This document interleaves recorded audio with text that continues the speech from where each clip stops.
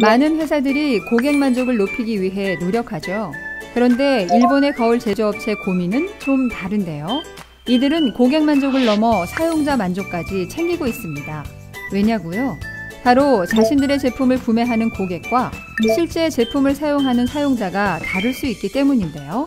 실제 사용자를 만족시키지 못하면 그 제품은 결국 외면받고 만다는 것을 아는 거죠.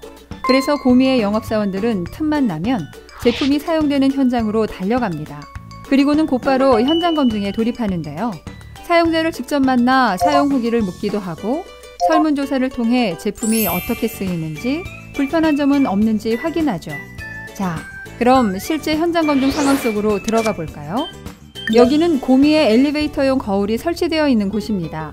이 거울은 엘리베이터에 타려고 하는 사람을 태우지 못하거나 문에 끼는 사고를 막기 위해 만들어진 것인데요.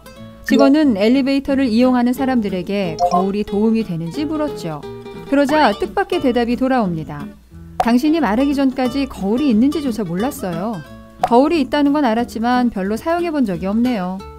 현장 검증을 통해 직원들은 설치만 해놓으면 사람이 거울을 잘 사용할 수 있을 것이라는 착각에서 벗어날 수 있었죠. 그리고는 거울 사용법을 적은 스티커를 엘리베이터에 부착했습니다. 다시 현장에 방문했을 땐 많은 사람이 거울을 활용하고 있는 걸 확인할 수 있었죠. 또 한 번은 은행 ATM에 후방 확인용 거울을 달고 제품 사용자들에게 도움이 되는지 확인하러 출동했는데요. 설문 결과 사람들이 거울의 용도를 오해하고 있다는 걸 알 수 있었죠. 그래서 이들은 거울의 후방 확인 거울이라고 보기 쉽게 인쇄해 넣었습니다.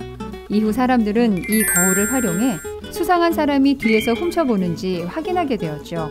이렇게 고민은 늘 사용자 만족을 외치며 현장에서 단 한 명의 사용자가 느끼는 불편함이라도 말끔히 해결하기 위해 전력을 다하는데요. 이 때문일까요? 고미에는 10년 이상 인기를 누리는 스테디셀러 상품이 굉장히 많다고 합니다. 우리는 제품을 팔고 나면 할 일을 다 했다고 생각할 때가 많은데요. 이제는 고미처럼 실제 사용자를 만나 그들의 오해와 불만을 샅샅이 찾아보세요. 사용자의 입꼬리가 올라가면 고객의 지갑은 절로 열리게 될 겁니다.